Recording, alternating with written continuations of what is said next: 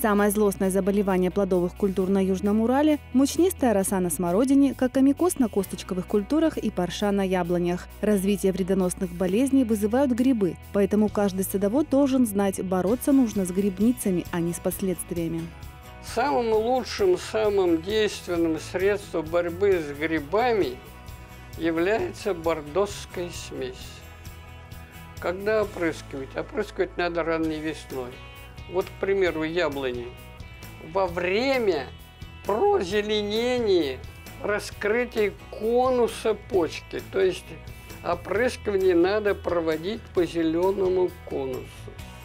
Опрыскивать в сухую погоду, опрыскивать бордоской смесью можно все ягодные культуры, все кустовые культуры, все косточковые культуры – все семечковые культуры.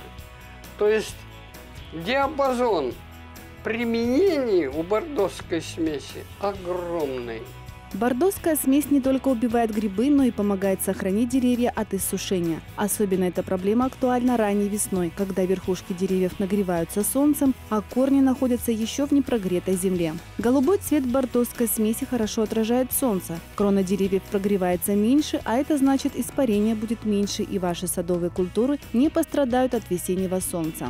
После того, как деревья отцветут, их нужно повторно опрыскать препаратом хомус. Это контактный препарат, который должен обязательно попасть на грибницу, иначе толку не будет. В Европе вместо хомуса уже давно применяют другой препарат – хорус. Он системного действия, проникает в кору, в листву и, смешиваясь с соком дерева, убивает грибы, где бы они ни находились. К сожалению, наши садоводы пока еще хорус используют неактивно. Применять хорус надо при температурах, вот это очень важный момент, при температурах 4-10 градусов Цельсия.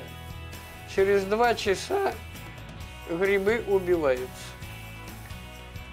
Но при температуре 10-20 градусов действие хороса уменьшается, снижается.